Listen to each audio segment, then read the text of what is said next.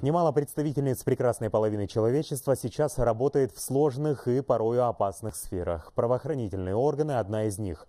Мужчины не отрицают, работать с женщинами не только приятно. На них всегда можно положиться, потому что в работе представительницы слабого пола очень ответственны. О таких девушках наш следующий сюжет.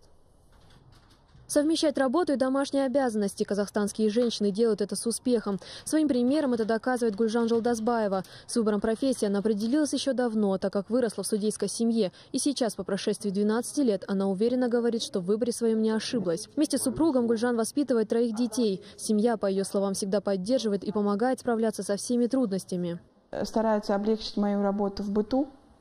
И где-то чтобы я их сильно не опекала, уже сами стараются пойти на секцию, пойти в школу, чтобы мама и на работе успевала. И супруг тоже имеет юридическое образование.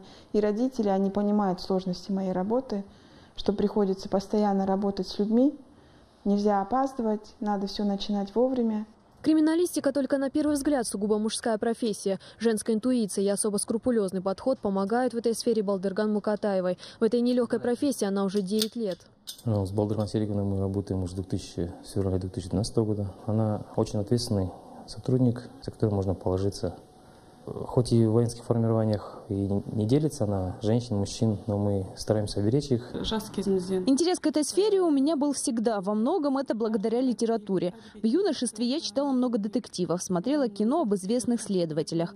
Родители с выбором специальности поддержали. Создавать домашний уют и совмещать это с ответственной работой бывает нелегко. Но мои близкие меня всегда поддерживают. И я очень благодарна им за это. О выборе своей профессии, непростой совсем не женской, Балдырган не жалеет. Поблажек ей не делают, зато приносить пользу обществу – ее главный стимул жизни. А не принимать близко к сердцу все, с чем сталкивается на работе, она уже давно научилась. Не говорить дома о рабочих делах – одно из основных правил в ее семье. Сабина Сиксимбаева, Ануар Тауикелов, 24 КИЗ.